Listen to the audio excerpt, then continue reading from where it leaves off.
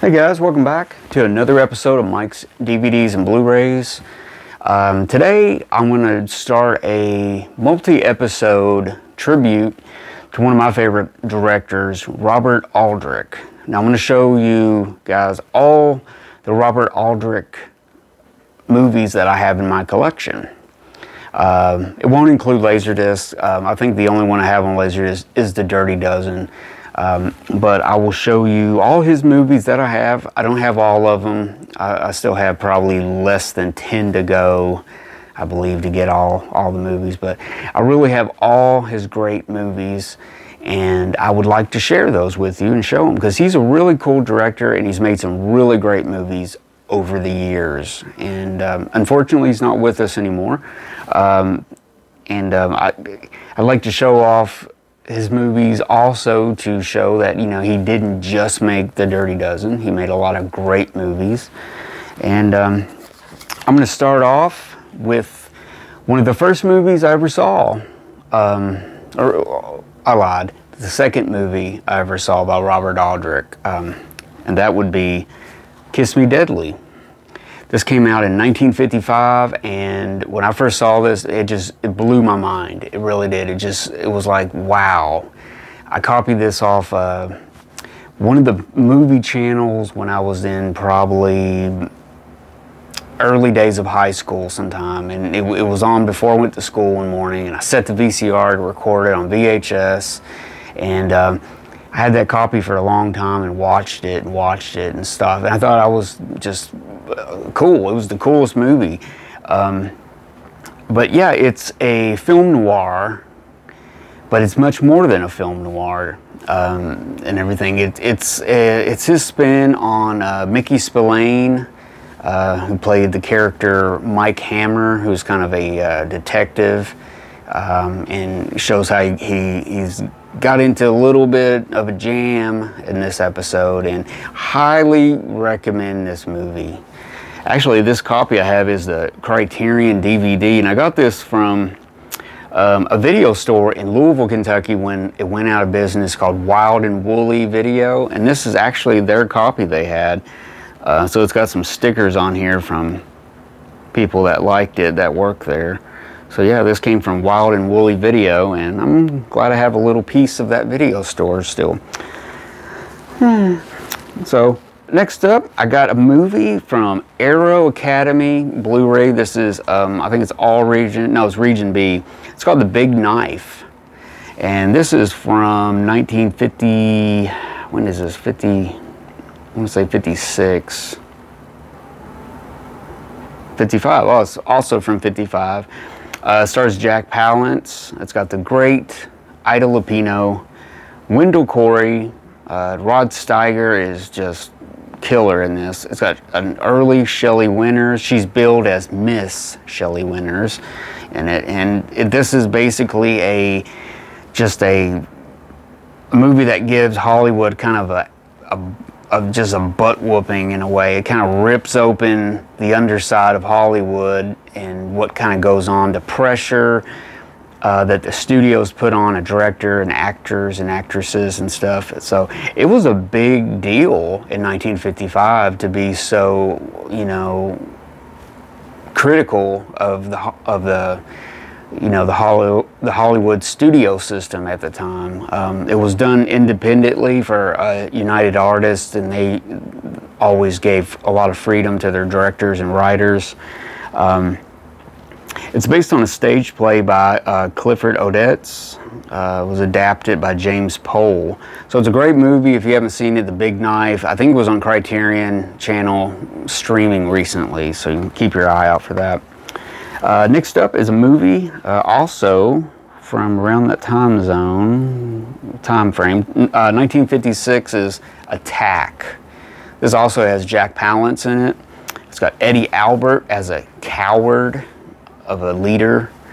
Um, briefly, I want to show you, uh, tell you about it. It's, it's a um, basically takes place during the Battle of the Bulge. Um, it's when a, a lieutenant played by uh, Jack Palance, learns that his men died because the commander, played by Eddie Albert, uh, was too much of a coward to join into the fight and bring them on, which causes a serious uh, issues a serious warning to the rest of the guys and says, "Don't let this happen again." But Cooney's cowardness forces Costa, who played, you know, Jack Palance's character, uh, into a fateful choice: continue to risk the lives of his men or take the life of the captain. So it's really good. It's got dark overtones. It's got uh, Lee Marvin, Robert Strauss, uh, Richard Jaeckel. Uh, Buddy Ebsen is even in this. Um, this is also another James Poe uh, script adaptation, and uh, it's from a book by Norman Brooks. So I highly recommend Attack. Um, I just saw it for the first time this year, and um, I got this older um, MGM-UA DVD. It's on a, I believe, a Kino Blu-ray, so you want to keep your eye out for that. Highly recommend it. Just underrate it. Uh, next up, let me see how I'm going to go. I also got another MGM DVD here. Uh, this one is from 19, I want to get the time right, 1970, I want to say 73. Okay, 1973 is The Grissom Gang. Uh, another great movie. Um, it's got a great cast. Um, everybody that's in it, it's got uh, Kim Darby, Scott Wilson, uh, Tony Musante, uh, Robert Lansing.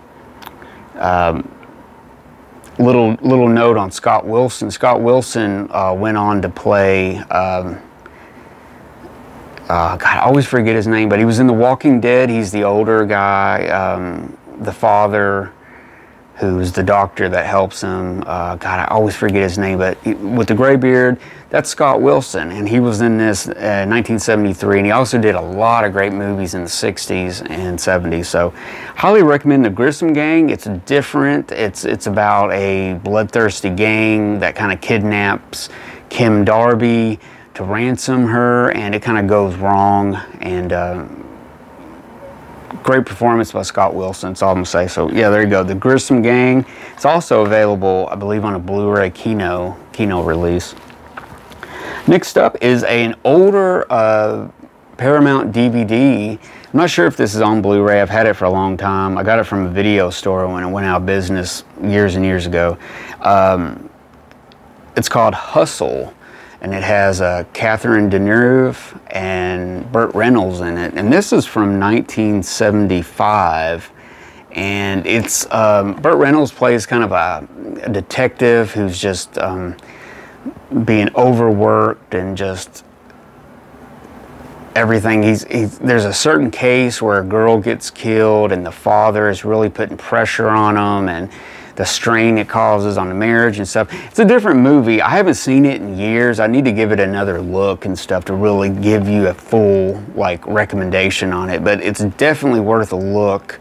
Uh, when I first came across this in the video store, I was like, Robert Aldrich? And I was like, I wasn't for sure because I had never heard of it. Um, so I picked it up.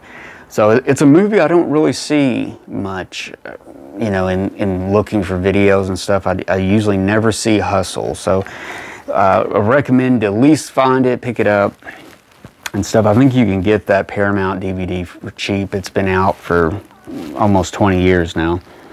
Uh, next up is a kind of an odd movie. I got this this year actually. It's called The Legend of Lylah Clare. And um, this is a Warner Archive Collection release. Uh, he made this movie in 1968, 1968, and uh, has uh, Kim Novak, Peter Finch, Ernest Borgnine, and um, yeah, what can I say? Um, pretty odd movie. It's kind of uh, kind of focuses on um, Kim Novak as a um, Hollywood starlet. I think a director kind of mistaken, like kind of sees her, meets her, and he looks. She looks like his his ex or his dead wife or something, and he tries to cast her and play her off as that person in the movies or something. It's kind of confusing. I watched it really late at night, and I was tired and. I, need to rewatch it definitely, but I would I wouldn't I wouldn't not underrated. It's I would say definitely pick this up, but it, it's a movie that uh, you can't find for under twenty dollars, and I wish the price would come down or come out on Blu-ray, and I'd pick it up, or or to recommend it. But yeah, the Legend of uh, Lylah Clare. They showed on TNT or TNT. Turner Classic Movies, T, TCM a lot, so keep your eyes out for that. Next up, I have a couple of German releases of a um, couple of westerns that uh, Robert Aldrich, Aldrich did um, back in the uh, back in the 50s and 60s. Uh, I'm sorry I don't have these name these dates right up. Um, this is from 1954, and this is Apache starring uh, Burt Lancaster and Charles Bronson. Uh, it says Massai. That that's his character's name in the movie, uh, Massai, and but but it's all in German. But it's Apache. So uh, it's a great movie. I was highly, I, I, I, put it on and I thought it was going to be a typical Western from the 1950s, you know. Um, but man, it was good. It was a good movie. This was a great release. This this was released by Koch Media in Germany. They have put out a couple of really good series of Blu-rays. They're in these like book form, and they got a little uh, flip case with some uh, liner notes and stuff. But man, they got some great prints on these, the beautiful prints, and it really uh, surprised me. It was a great movie. Uh, Burt Lancaster is great as always. And uh, this would probably be considered a kind of a um, maybe a one of the beginning start the starting career of Walt, uh, Robert Aldrich. Um, 1955, he would do "Kiss Me Deadly," which would really start his career going. But this was kind of, you know, he was just doing some westerns and typical things around this time. But yeah, he did this, and it's really good. Next up is another uh, Koch Media release of um, the Last Sunset. I did a video and I had shown this and um, still to this day, such a beautiful print on this. gorgeous color, sharp, looks great. Um, you know, I, am not, I'm sure it's a restoration of some sort because it looks great. But yeah, it's a El Perdido, um, or the Last Sunset. Stars Rock Hudson, Kirk Douglas, uh, it's got a great cast. Um, Dorothy Malone is excellent in it. Um, cinematography by Ernest Laszlo. Uh, Dalton Trumbo did the script, so um, mix it all together and you got a great Western movie, great video. Uh, it's, it's available uh, in the U.S. under Last Sunset, but um, this movie and this one really, these just look really great. I'm really impressed with them. Um, so moving right along, and we have a movie now from 1959, and it's called 10 Seconds to Hell. This movie uh, teams Jack Palance again with uh, Robert Aldrich. Uh, it's got a great cast with Jeff Chandler, uh, Martine Carol, uh, Virginia Baker, Wes Addy, and um, great little story. Um, it, it's about a group of GIs after World War II. Uh, they're working cleaning up Germany, helping with the, you know, starting the city back up and helping the German people get back to living again. Uh, they're basically the bomb squad and they're cleaning up any kind of dropped bombs that were dropped and didn't weren't exploded. So they're basically the bomb squad, and they, they've got a very dangerous job, and it's a very tense movie uh, with the characters working together, very tense relationships they have, plus just the work itself, very tense. So, uh, great performance by Jack Palance, and this is a, a new uh, HD remaster, so it looks really good. Recommend that, and that's a uh, Kino Blu-ray release. Speaking of Kino release, I got another one here. This is a movie from 1972, and it's um, Ulzana's Raid. And this is another gorgeous Western by Robert Aldrich. Uh, Burt Lancaster, again, teamed up with Robert Aldrich. Great, great, great performance. Um, great cast. Bruce Davison, Richard Jaeckel returns. Um, great little uh, Alan Sharp story.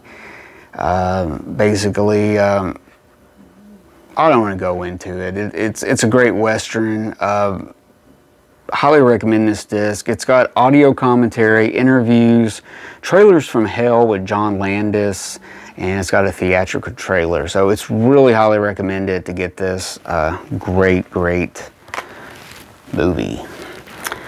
And I got a movie now from Eureka's Masters of Cinema series. This is number 152. And this is also 1977's Twilight's Last Gleaming. Uh, this was uh, getting close to the end of uh, Robert Aldrich's career. Um, this was done, I believe, independently, um, released through a, um, a, studio, of course, but um, I believe, um, I'm not sure who was released through, but this is a great release. Uh, it's got a great big booklet in there. Uh, it's two disc, it's you know, DVD and Blu-ray. Um, but yeah, it's got some. Um, there's a there's a uh, supplement called Aldrich over Munich. It's a uh, feature-length documentary on the making of the movie by Robert F uh, Fischer. And like I said, it's got the 36-page booklet. It's really cool. You can get this. Um, I believe it might be out of print, but you can get it on on uh, eBay and uh, Amazon. And there's some other editions too besides this because this is region B and you need of course you need a region all region player to watch it so there's that. So I will be back in a moment with uh, the next episode will be part two and I will uh, finish showing some Robert Aldrich movies that I have and uh, hope you guys tune in subscribe if you haven't subscribed. If you like it give me a thumbs up comment and uh, hope you tune in for the next episode and uh, thanks for watching guys